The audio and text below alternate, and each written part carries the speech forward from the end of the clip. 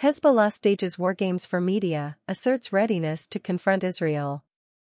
Aaramta, Lebanon, AP, the Lebanese militant group Hezbollah put on a show of force Sunday, extending a rare media invitation to one of its training sites in southern Lebanon, where its forces staged a simulated military exercise. Masked fighters jumped through flaming hoops, fired from the backs of motorcycles, and blew up Israeli flags posted in the hills above and a wall simulating the one at the border between Lebanon and Israel. The exercise came ahead of Liberation Day, the annual celebration of the withdrawal of Israeli forces from South Lebanon on May 25, 2000, and in the wake of a recent escalation of the Israeli-Palestinian conflict in Gaza. Militant group Hamas, which rules Gaza, has long had ties with Hezbollah.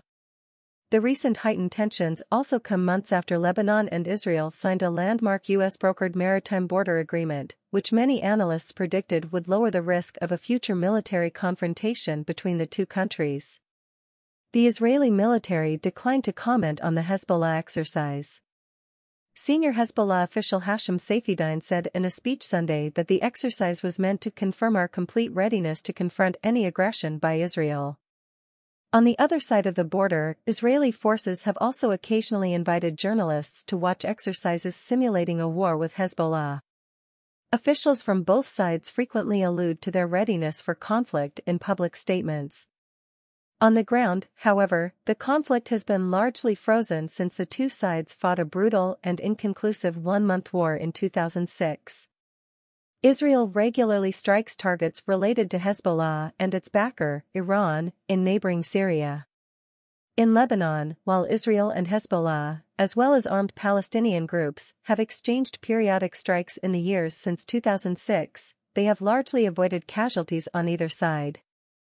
Most recently, Israel launched rare strikes on southern Lebanon last month after militants fired nearly three dozen rockets from there, wounding two people in Israel and causing some property damage.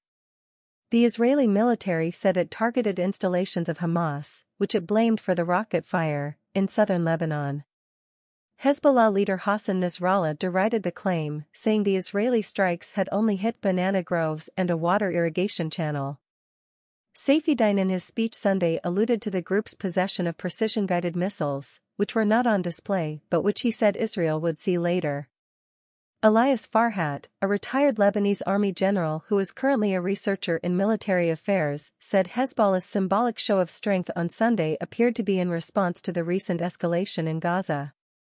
He said it could also be a response to a demonstration Thursday in Jerusalem by thousands of Jewish nationalists, some of whom chanted death to Arabs and other racist slogans, in celebration of Jerusalem Day. The day marks Israel's capture of the Old City 56 years ago.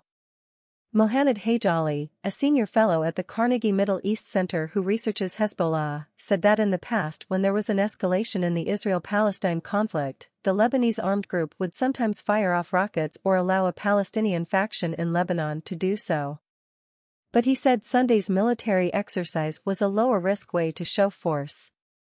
Given that Friday marked the return of Syria, an ally of Hezbollah and Iran, to the Arab League, Hage Ali said, Hezbollah may not have wanted a clash on the border with Israel to distract from the Arab reconciliation. While the military exercise is showing how strong they are in sending a message to the Israelis, it also demonstrates that this time around, they don't want to escalate, he said.